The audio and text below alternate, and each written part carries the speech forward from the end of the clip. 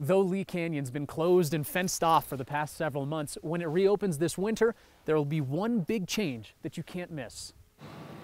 Mixed in with the wind is the sound of hard work at Lee Canyon. We're all really excited, so Construction crews are busy working on the Hillside Lodge, which should end up looking something like this. It's a 10,000 square foot addition that marketing director Jim Seely says was long overdue. know, this wasn't really necessarily about its expansion as much as just catching up with the demand that's already uh, coming up here to Lee Canyon. We haven't had a facilities upgrade since around 1969. The Hillside Lodge will have a new food and beverage facility, more bathrooms, a bar, and a large patio space for events. There are weddings already booked.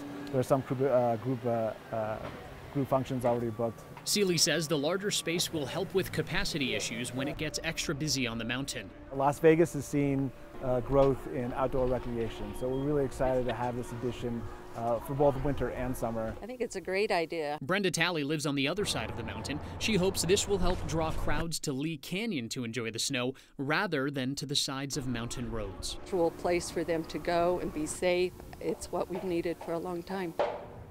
Seely says the project is reaching the finish line and it is running on time, so they are shooting for this to be finished when they reopen in December. From Lee Canyon, Max Darrow, back to you.